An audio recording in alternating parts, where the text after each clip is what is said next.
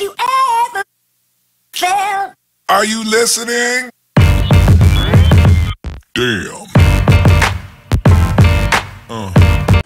Hey guys, long time no see. 50 years later and 50 pounds heavier.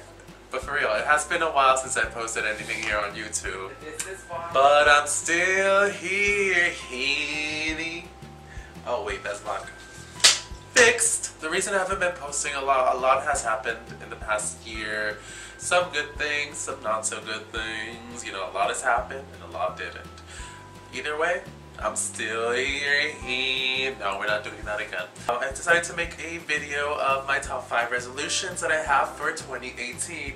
Granted, I am a month late, but then again, I haven't posted a video in like 2 plus years. Anyway, without further ado, here are my top 5 resolutions for 2018. Resolution number 1. So I've had some financial goals. Last year was mainly focusing on, you know, keeping my head above water. But yes, uh, one of my financial goals is to save a little bit of every paycheck that I get. So that way I accumulate, you know, kind of a large sum at the end of the year. Once I have that large sum at the end of the year, I'm going to use it to travel. If I get the time off. if I don't, hey, I got this money here, I'll roll it over, go to a better place. Instead of going to Paris, Texas, I'll go to Paris, London. I stay in school kids. Resolution number two. I mean, it's no mystery that I've always been struggling with weight.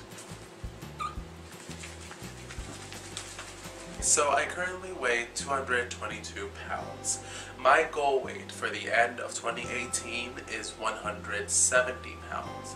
It is a very drastic uh, weight drop, but it being the beginning of the year, I'm pretty sure it could be accomplished. I've been starting to go to the gym a lot more, and I am thinking of making some changes to my diet pretty soon. It's very hard, I love me some Whataburger, I love me some Cane's, I love me anything deep fried and smothered in chocolate. Besides losing weight, I also do want to work on some other fitness goals. I want to be, I've been doing a lot more leg workouts, so I want to be able to be able to squat or whatever it's called 180 pounds. And I want to be able to bench press 100.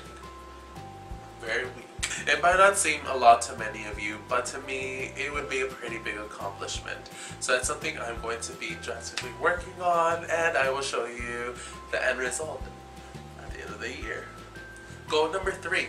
Now, I'm like a lot of the population of the world. As soon as I get home from work or wherever, I just sit down, turn on TV or my computer, and watch Netflix, Hulu, any other streaming service, and just watch all these shows and I watch a lot of YouTube too.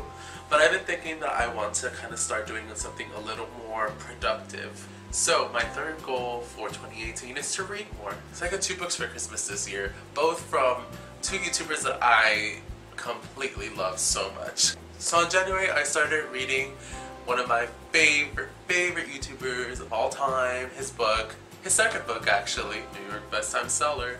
It Gets Worse by Shane Dawson. So I read his first book, it was hilarious. His second book is even more hilarious. I watched Shane since like way back in the day, back in those Weight Watcher, Shanae, Fred is Dead days. Nowadays he's doing content that's a little bit more different, but hey, I'm still into it. The stories that he has in there is just a collection of essays about his life, and it also includes some amazing artwork from very talented fans of his. You should definitely take a look at that book. It is amazing. It'll have you laughing your ass off. I remember like sitting like in bed next to my boyfriend and just reading the book and just being like laughing like a complete lunatic. And this month, actually, I started reading um, How to Be a Bawse by Lilly Singh. She's also one of my other favorite YouTubers. She's very motivated. She always has this message about, you know, working hard for everything you have, having a strong foundation. but it's a very inspirational book. Lilly Singh is a very talented uh, YouTuber and amazing content. And I totally recommend also reading her book. My fourth goal for 2018 is to cook more. My goal is to learn two new recipes every month. This month, it's a new recipe that I tried uh, with grilled chicken. And the second recipe that I learned was uh, how to make a pink Starburst drink. It was very good. It tastes just like the same thing. And finally, my fifth goal. Granted, I have many goals that I want to accomplish by the end of the year, but this, but these are the main goals that I want to stay focused on for through for the duration of 2018. My fifth goal is I want to start posting on YouTube more regularly, or I want to start posting on YouTube again.